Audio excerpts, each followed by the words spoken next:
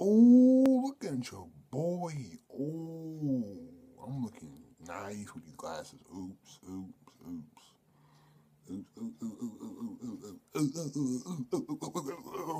Yeah. Let's get it. But anyway, we back with another video. We talking about the the, the, the, thing I hate about relationships. Like, this is kind of paradox. This is kind of this is a good timing since I just low key got out of one. This is kind of good, perfect timing. The thing is, the relationships. Me, the problems I have with some relationships is people.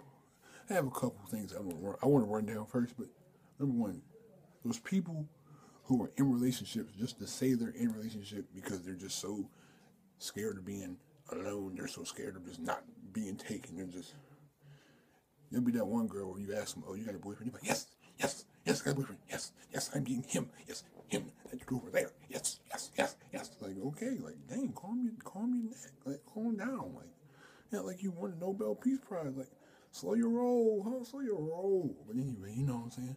Them type of people, you be like, every time, like, type of people like, I'll text you, I text you, like, you got the homework, and you be like, I got a boyfriend, like, congratulations, but you, you got the homework though, like, you feel me? Them type of people.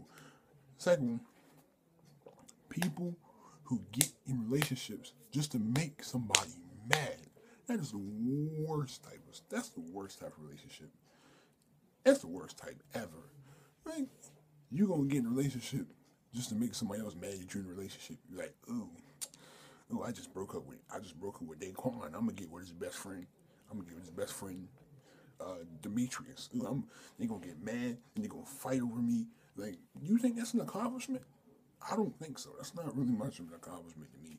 But I don't know what runs through y'all females' minds sometimes. I gotta, I gotta make a separate video about that. But I don't know what runs through y'all minds. Y'all, y'all images, your whole perspective on life is warped sometimes. But I ain't seen all the time sometimes. But anyways, number three, peer pressure relationships. Okay, we're not talking about, of course, high school. Most of the time, it don't happen in high school. I'm talking about middle school, elementary school, they would see you in the hall, they would walk by, like, yo, you, y'all need to date, y'all need to date all the time. Y'all just, they, they, they just kept trying to force y'all to date, but then when y'all actually started dating, y'all didn't have no type of emotional connection. It was just, you was with her just because her friends was forcing her onto you, and it just turns to a whole pile of doo-doo. You feel me?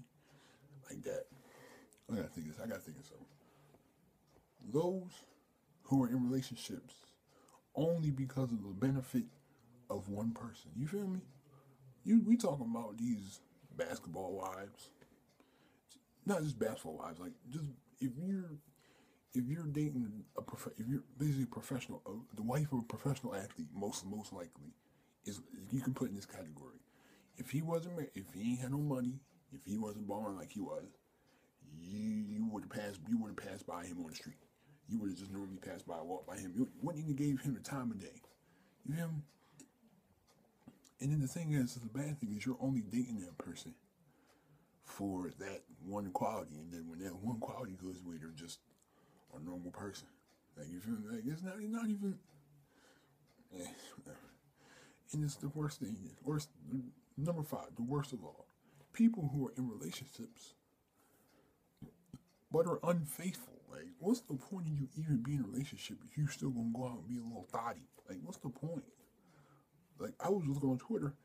I think I saw probably the best quote I've ever seen about relationships. It said, "Relationships sink when there are too many people on board." Let me, let me repeat that one more time. Relationships sink because there are too many people on board. You can't. You you know the story. You put too many people on the boat. The boat gonna sink. You feel me? Stop being unfaithful, man. You with the person. You you don't even love a person if you were gonna do all this ridiculousness. You feel me? But anyway, I'm done. You know, little little quick video, five ways.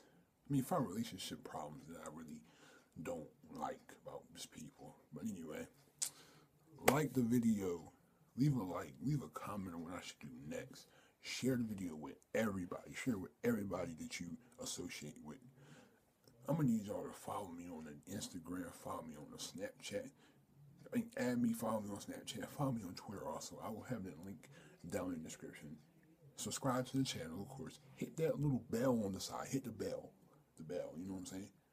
Hit the bell so you can, the little, right next to the subscribe button. You see it right there? Hit that so you can know every time I upload a video. Like, hit it. You gotta stroke it. I mean, you, you gotta finesse. You gotta pop it, you know what I'm saying? But anyway, I'm Machi. Until next time. All right. Peace.